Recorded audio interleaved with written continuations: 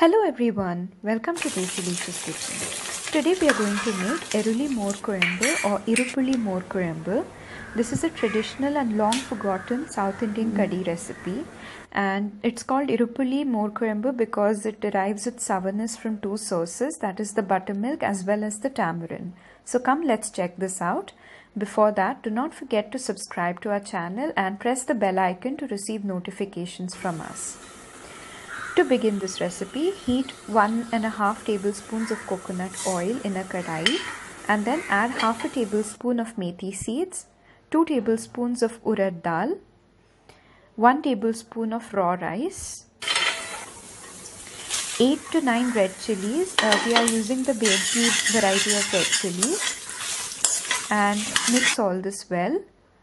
Also add 8 tablespoons or half a cup of grated coconut and cook till the coconut changes color slightly. And this is done. Let's cool this down now. And then we can prepare a smooth paste out of this. So once all these ingredients have cooled down let's prepare the paste. And this is how we've prepared the paste. Here we have taken 2 cups of beaten curds. And we are adding the paste to the curds little by little and stirring it in simultaneously. We've also added in some salt. Let's mix this in. And we've taken 300 grams of okra or bhindi which we have washed and dried in a clean cloth. We've taken bhindi today but you can use any vegetables for this recipe. Uh, we've heated 2 tablespoons of coconut oil and we are adding in the bhindi to it. Let's saute the bhindi and to this let's add in some turmeric powder and mix in the turmeric powder. After this let's also add in some salt and give this a mix and then we are going to just allow the bhindi to cook in 3 cups of hot water. Let's cover and cook the bhindi.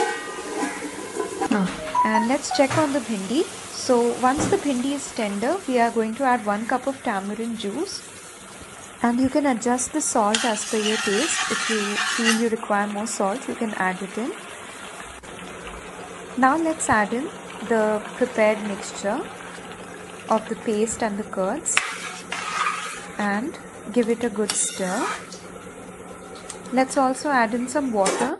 You can add some water as you require. Now just switch off the flame and set it aside. Now in a small skillet, heat 2 tablespoons of coconut oil, add 1 teaspoon mustard seeds and 4 to 5 small red chilies and some curry leaves. Our tempering is ready, just pour this tempering over the kuzhambu and our irupuli more kuzhambu or iruli more kuzhambu is ready to be served with rice or pongal. Do try out this recipe, give us your feedback and subscribe to our channel, like this video, leave your comments. Thank you.